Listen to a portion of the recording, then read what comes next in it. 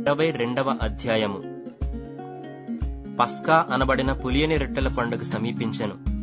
ప్రధాన యాజకులను శాస్త్రులను ప్రజలకు భయపడిరి గనుక ఆయనను ఏలాగు చంపింతుమని ఉపాయము వెదకుచుండిరి. అంతట పన్నెండు మంది శిష్యుల సంఖ్యలో చేరిన ఇస్కరియోతు అనబడిన యూదాలో సాతాను ప్రవేశించను.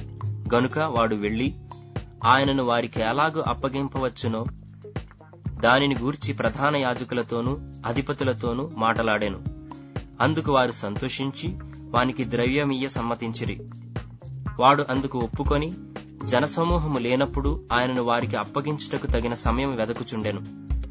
పస్కా పశువును వధింపవలసిన పులియని రొట్టెల దినము రాగా యేసు పేతురును యోహానును చూచి మీరు వెళ్ళి మనము భుజించుటకై పస్కాను మన కొరకు సిద్ధపరచుడని వారిని పంపెను.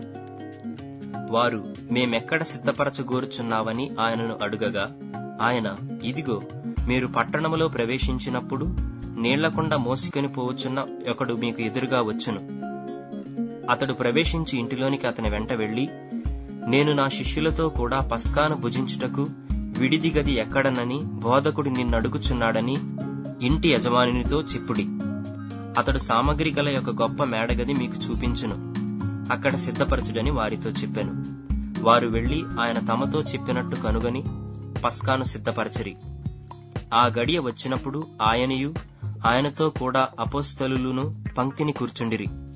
అప్పుడు ఆయన నేను శ్రమ పడకమునుపు మీతో కూడా ఈ పస్కాను భుజింపవలెనని మిక్కిలి ఆశపడి తిని.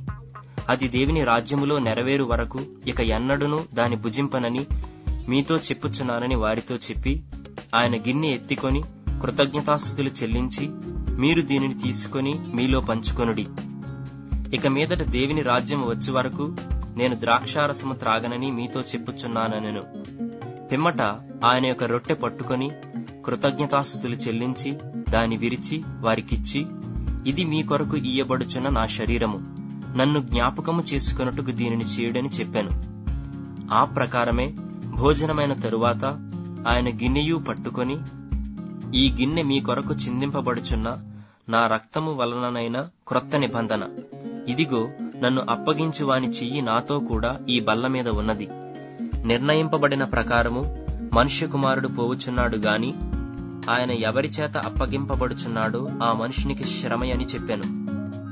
వారు ఈ పనిని చేయుబోవాడెవరో అని తమలో తాము అడుగు కొనసాగిరి.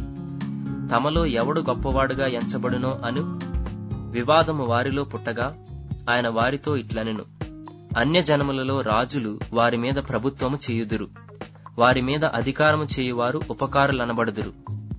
మీరైతే అలాగు ఉండరాదు. మీలో గొప్పవాడు చిన్నవాని వలెను అధిపతి పరిచారకుని వలెను ఉండవలెను. గొప్పవాడెవడు? భోజన పంక్తిని కూర్చుండువాడా? పరిచర్య చేయువాడా? పంక్తిని కూర్చుండువాడే గదా? అయినను నేను మీ మధ్య పరిచర్య చేయువాని వలె ఉన్నాను. నా శోధనలలో నాతో కూడా నిలిచియున్నవారు మీరే. గనుక నా తండ్రి నాకు రాజ్యమును నియమించినట్టుగా నా రాజ్యములో నా బల్ల యొద్ద అన్నపానములు పుచ్చుకొని సింహాసనముల మీద కూర్చుండి ఇస్రాయేలు పన్నెండు గోత్రముల వారికి మీరు తీర్పు తీర్చుటకై నేనును మీకు రాజ్యమును నియమించుచున్నాను. సీమోను సీమోను ఇదిగో సాతాను మిమ్మను పట్టి గోధుమల వలె జల్లించుటకు మిమ్మను కోరుకొనెను గాని నీ నమ్మిక తప్పిపోకుండునట్లు నేను నీ కొరకు వేడుకొంటిని. నీ మనసు తిరిగిన తరువాత నీ సహోదరులను స్థిరపరచమని చెప్పాను. అయితే అతడు ప్రభువా నీతో కూడా చెరలోనికిని మరణమునకును వెళ్ళుటకు సిద్ధముగా ఉన్నానని ఆయనతో అనగా ఆయన పేతురు నీవు నన్నెరుగనని ముమ్మారు చెప్పు వరకు నేడు కోడి కుయదని నీతో చెప్పుచున్నానెను మరియు ఆయన సంచియు జాలియు చెప్పులను లేకుండా నేను మిమ్మల్ని పంపినప్పుడు మీకు ఏమైనను తక్కువాయనా అని వారిని అడిగినప్పుడు వారు ఏమీ తక్కువ కాలేదనిరి. అందుకని ఇప్పుడైతే సంచి గలవాడు సంచయు జాలియు తీసుకుని పోవలెను. కత్తి లేనివాడు తన బట్ట నమ్మి కత్తి కొనుక్కొనవలెను. ఆయన అక్రమకారులలో ఒకడుగా ఎంచబడెను అని వ్రాయబడిన మాట నాయందు నెరవేరవలసి ఉన్నది. ఏలయనగా నన్ను గూర్చిన సంగతి సమాప్తమవుచున్నదని మీతో చెప్పుచున్నానెను వారు ప్రభువా ఇదిగో ఇక్కడ రెండు కత్తులున్నవనగా చాలునని ఆయన వారితో చెప్పాను. తరువాత ఆయన బయలుదేరి తన వాడుక చొప్పున ఒలీవల కొండకు వెళ్ళగా శిష్యులను ఆయన వెంట వెళ్ళిరి. ఆ చోటు చేరి ఆయన వారితో మీరు శోధనలో ప్రవేశించకుండునట్లు ప్రార్థన చేయుడని చెప్పి వారి యొద్ద నుండి రాతివేత దూరము వెళ్ళి మోకాళ్ళూని తండ్రి ఈ గిన్నె నా యొద్ద నుండి తొలగించుటకు నీ చిత్తమైతే తొలగించుము. అయినను నా ఇష్టము కాదు. నీ చిత్తమే సిద్ధించునుగాక అని ప్రార్థించెను.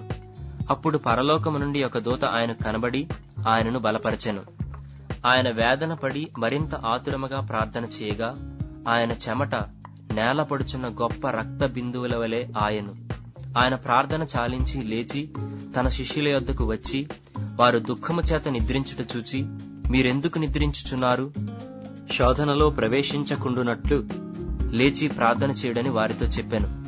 ఆయన ఇంకనూ మాటలాడుచుండగా ఇదిగో జనులు గుంపుగా వచ్చిరి.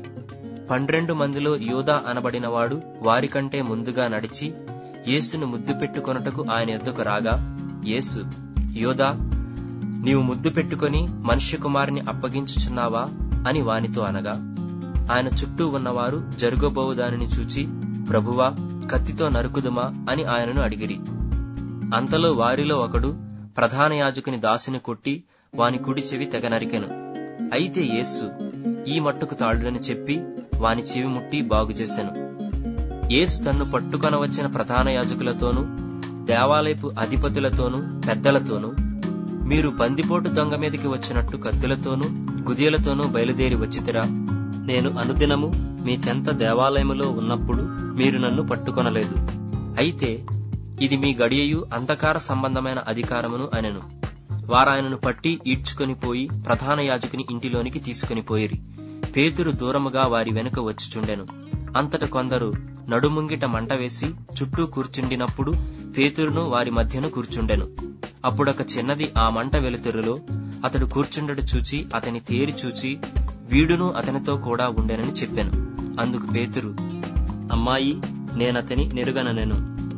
మరి కొంతసేపటికి మరి ఒకడు అతని చూచి నీవును వారిలో ఒకడవనగా పేతురు ఓయి నేను కానెను ఇంచుమించు ఒక గడి అయిన తరువాత మరి ఒకడు నిజముగా వీడును అతనితో కూడా ఉండెను. వీడు గలిలయుడని దృఢముగా చెప్పాను. అందుకు పేతురు ఓయి నీవు చెప్పినది నాకు తెలియదనెను. అతడింకనూ మాటలాడుచుండగా వెంటనే కోడి కూసెను. అప్పుడు ప్రభువు తిరిగి పేతురు వైపు చూచాను గనుక పేతురు నేడు కోడి కుయకమునుపు నీవు ముమ్మారు నన్ను ఎరుగనందు అని ప్రభు తనతో చెప్పిన మాట జ్ఞాపకము చేసుకుని వెలుపలికి పోయి సంతాపపడి ఏడ్చెను.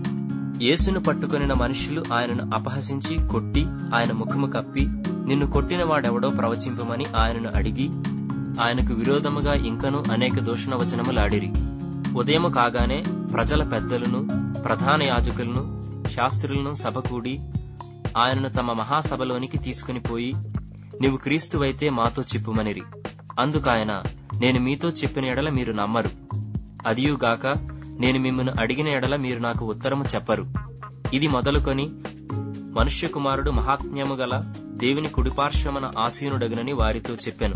అందుకు వారందరూ అట్లయితే నీవు దేవుని కుమారుడువా అని అడుగగా ఆయన మీరన్నట్టు నేనే ఆయనను అని వారితో చెప్పాను. అందుకు వారు మనకిక సాక్షులతో పని ఏమి? మనము అతని నోటి మాట వింటిమి కదా అని చెప్పిరి.